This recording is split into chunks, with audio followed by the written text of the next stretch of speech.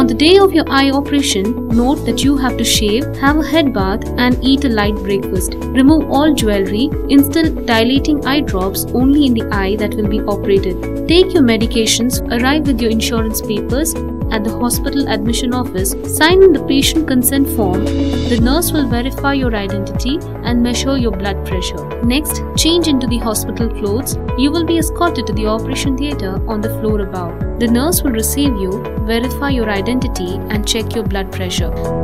The anesthetist will numb your eyes either by using eye drops, that is topical eye drops, or by using injection, that is local anesthesia.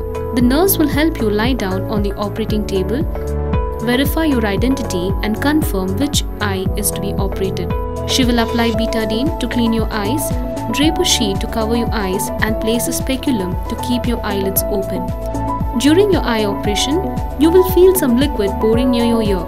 It is clean water used when washing your eye. Your eye doctor will take about 15 minutes to complete your cataract eye operation. If surgery is done with topical anesthesia, then an open shield is placed over the operated eye and if it is done with local anesthesia, then the eye is completely closed. The nurse will escort you to the waiting hall and carefully hand you over to the patient care assistant. You will go to the discharge office and meet your family waiting there. The nurse will give you all necessary instructions, return downstairs to the admission office to change back into your personal clothes and slippers. You will return home on the same day.